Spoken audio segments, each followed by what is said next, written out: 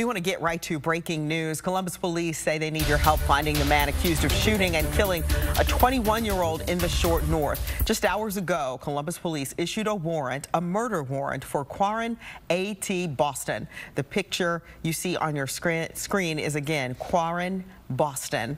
He's accused of killing 21-year-old Arthur Pickens just before 3 in the morning on North High Street. Officers were responding to a report of a fight. Minutes later, shots were fired. If you know where Boston is, you are being asked to call Columbus Police.